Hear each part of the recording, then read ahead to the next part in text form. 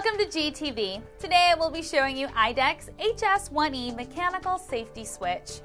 The HS1E series is a full-size, lightweight plastic interlock switch that includes a locking solenoid unit for extra security. When mounting the key on a movable door and the switch on a machine body, the door can be mechanically locked when closed.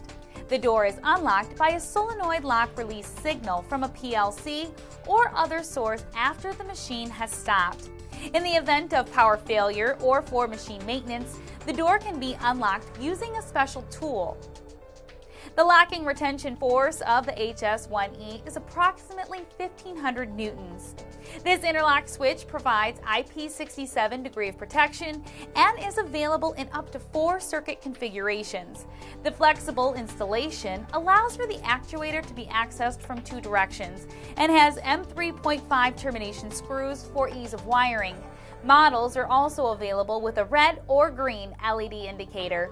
IDEC's HS1E mechanical safety switch, along with thousands of other products and services, are available at galco.com.